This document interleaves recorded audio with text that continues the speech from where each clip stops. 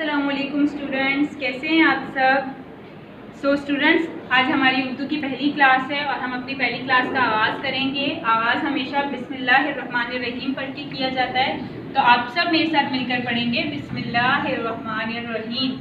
और अब हम क्या पढ़ेंगे? अब हम इल्म इजाफे की दुआ पढ़ेंगे। इल्म इजाफे की दुआ। रब्बी जिदनी इल्मा। रब्बी जिदनी इल्मा। रब्बी जिदनी इल्मा।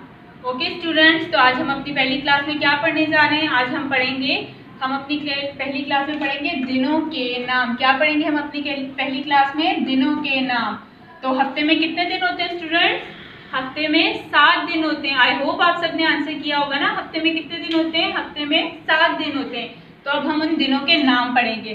पीर मंगल, बुध, जुमेरात, जुम्मा, हफ़्ता, इतवार। अब आप सब मेरे साथ मिलकर पढ़ेंगे और सब अच्छे बच्चों की तरह पढ़ेंगे ठीक है?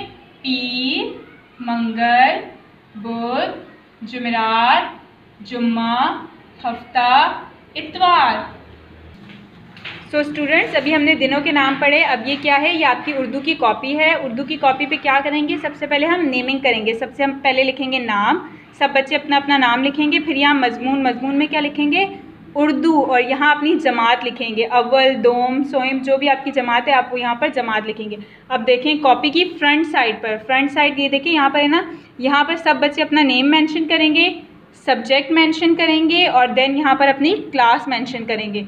सो so, ये सब करने के बाद आप क्या करेंगे आप पहले पेज पर बहुत ही सफ़ाई से मिकाते अव्वल की हेडिंग मेंशन करेंगे। मिकाते अव्वल की हेडिंग आप पेंसिल से लिखेंगे ठीक है?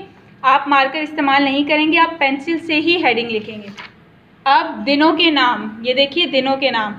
आप क्या करेंगे? बहुत सफ़ाई से दिनों के नाम लिखेंगे। पहले आप एक तरफ़ तारीख मेंशन करेंगे, फिर दिन देखें यहाँ दूसरी तरफ़ दिन लिखेंगे और अब ये दिनों के नाम आप जो है अपनी कॉपी में बहुत सफ़ाई से लिखेंगे।